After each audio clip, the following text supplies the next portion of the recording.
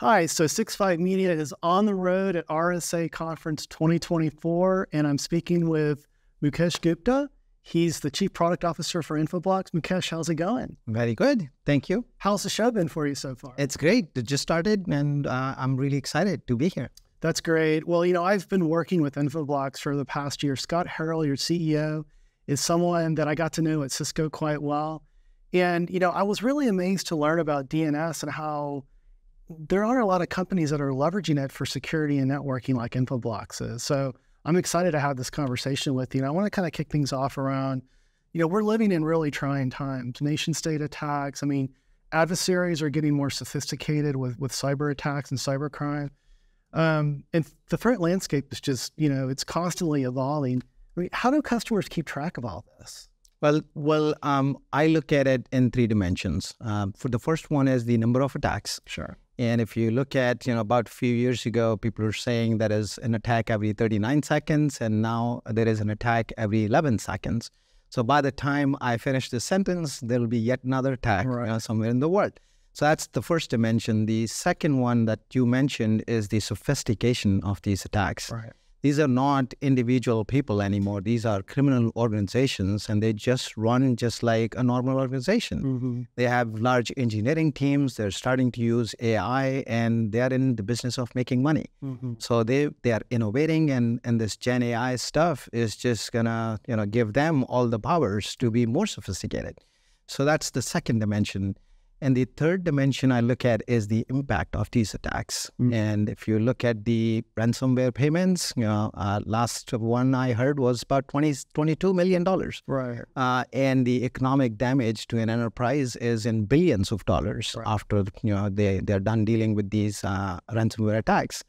The one that really broke my heart was this piece of news that I read about one and a half years ago there was a hospital in Alabama that was dealing with a ransomware attack, and they couldn't provide care to an infant, and the infant died. Tragic. Tragic. So, so that's the impact. So, in all three dimensions, things are just getting worse and worse every day. You know, and I think one of the most highest profile uh, ransomware attacks recently was the MGM Grand. Yeah, and it's not in, in, any way, you know, um, as dramatic as what you just described with the hospital, but Think about the millions and billions of dollars that MGM Grand lost when um, patrons could not uh, use their keys to get into their rooms, casino machines shut down, and it was a worldwide phenomenon. It wasn't just in, in Las Vegas, Nevada, right? So these bad actors are getting very sophisticated. And you brought up a great point. Generative AI is almost like a double edged sword. Um, it's allowing adversaries to become more sophisticated in their attacks, but it can also be used for good by defenders. Right. And but I want to get back to um, specific attack trends. And uh, is Infoblox seeing anything specifically sort of bubble to the surface recently?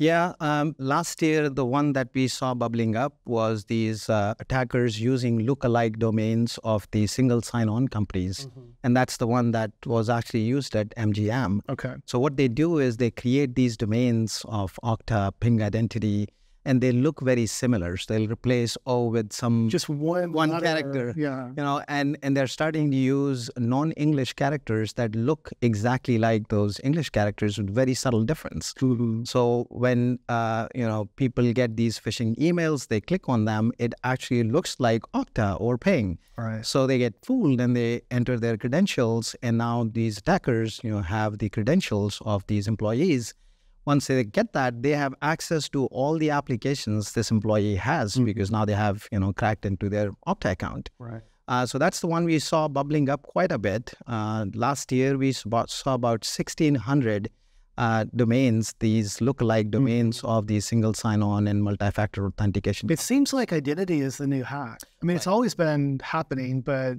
yeah, I mean, I'm seeing the same thing. Right. And it's it's dangerous because it's the keys to the kingdom. Once you log into someone's Okta account, then you get access to all the applications. Right. So yeah. Well, so I know that Infoblox has been very focused on addressing a lot of these issues. There have been a lot of recent announcements. One, um, SOC Insights, I think was was phenomenal. I published a research note on this when you launched it. Um, there's a, a, paper from our firm that's going to be published uh, very soon um, but what are some other things that you're doing to really leverage the power of DNS to provide visibility and higher levels of protection for your customers?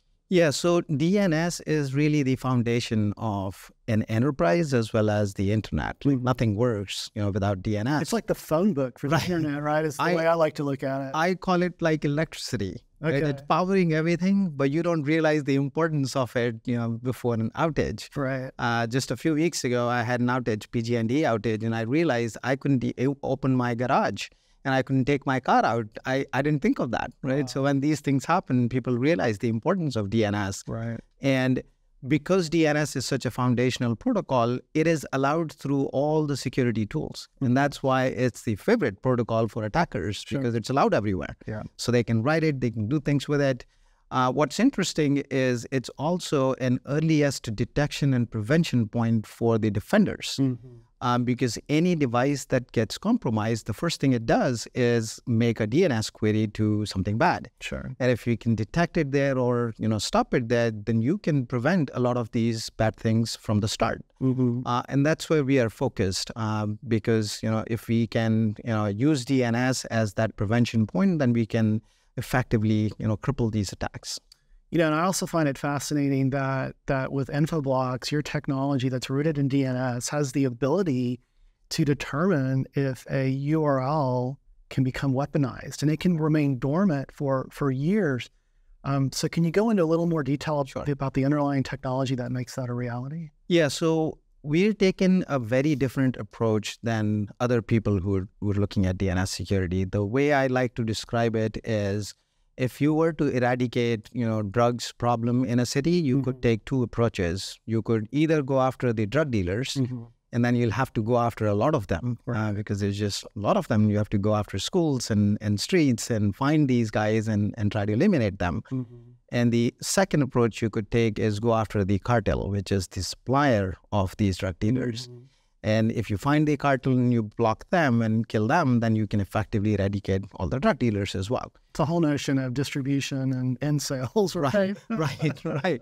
So the other security tools, you know, are going after the drug dealers. After uh, a domain is weaponized, you know, it's hosting malware or mm-hmm. being used for phishing that's when they detect it and then they prevent it. Sure. Versus the approach we are taking is going after the, the cartel or the suppliers uh, of this. And one of the examples of this is Prolific Puma.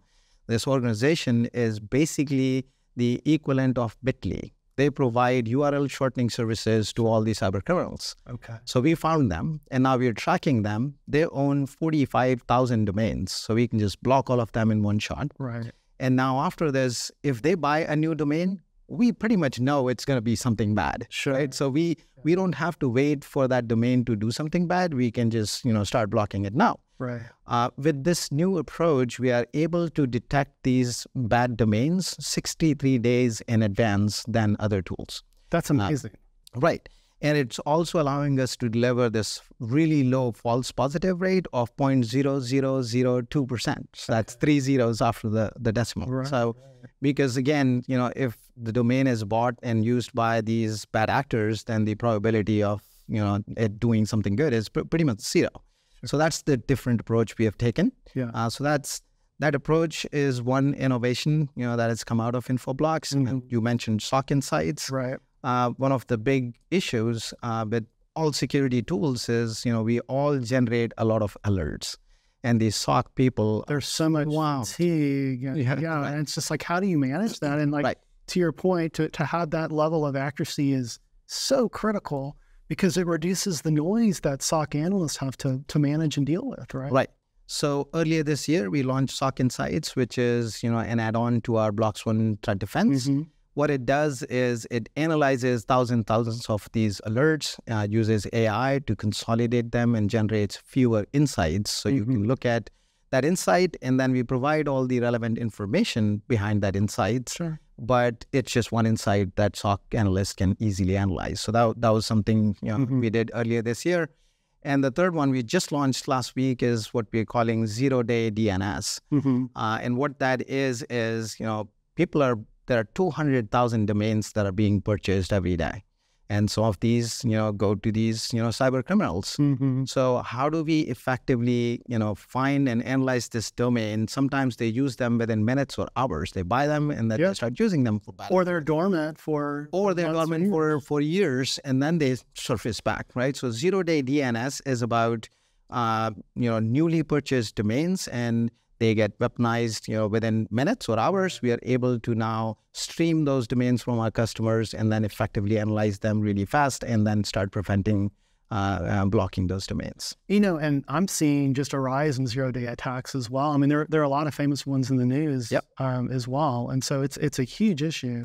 But, but it's incredible that your platform can can detect zero day, but also monitor you know these these domains that can become weaponized within months or years. So it's just super incredible.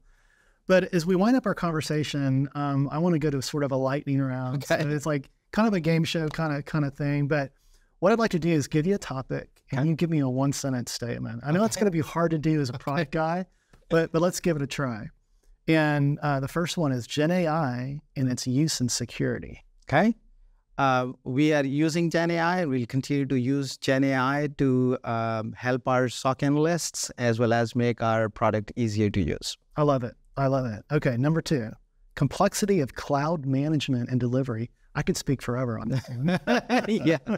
So we have so many customers using uh, DNS, DHCP, IPAM across you know four, five different clouds. Mm-hmm. Uh, we are gonna uh, unify the management of that to help our customers. That's great. And I'll just add one of the biggest challenges with with cloud networking is just the disparity in, in architectures and the visi- you know the lack of visibility and the, the gaps that, that that are created. So, oh, this is a good one. You should have a good one for this. DNS. DNS. DNS is the foundation on which we operate. So we'll continue to invest heavily in DNS to fight the cyber criminals and keep our customers safe. I love it. And finally, everything as a service. Everything as a service. Um, that's the trend. The cloud ops teams want everything as a service, and we are investing heavily in providing our DNS security as a service, our DDI, which is DNS, DHCP, IPAM as a service, and mm-hmm. we continue to invest in that so our customers can just use the services and not have to deal with infrastructure. I'll, I'll just say it's like why are there other companies that are leaning into DNS as, as heavily as Infoblox? Do you have a Do you have an answer for that? I don't know. yeah, I mean, it really it really kind of separates you from the pack and and really differentiates you. But um, I want to ask you a crystal ball question. And as an analyst, I wish I had a crystal ball because if I did, uh, I'd be right all the time. But um, if you had a crystal ball, what do you think the biggest challenges that security uh, professionals are going to face, you know, in the year 2025? Um, a few. So Gen AI is a big trend, and sure. I think it'll uh, create this situation where AI is fighting the AI. So it'll be used by the uh, yep. the offenders, like we talked it's that double-edged sword. It's right? a double-edged sword. So we will have to up our game, and the security tools will have to use Gen AI to fight these sophisticated attacks that are using Gen AI. So mm-hmm. it's just going to create both sides of uh, offenders and defenders. Mm-hmm. The second one is as all the enterprises start to build these Gen AI products, the security industry will have to figure out how to um, you know protect these Gen AI based products because these standard security tools, the, the models, the apps, the right. data, all of it, right? Right. and the third one I think is you know I'm just wary of these look-like domains. You know, mm-hmm. I look at them and they're just so hard to distinguish. Right. And uh, people are don't have a lot of patience these days. You know, you're just working too fast. Right. And people end up clicking on these domains. So these look-alike domains, I feel like, will be uh, more and more dangerous, and and people won't be able to distinguish and fall for it. So I, I, agree with all all of the above. And you know, one of the biggest challenges is culture, and it's instilling a sense of culture at every aspect of the organization. So much of these attacks are socially engineered, right?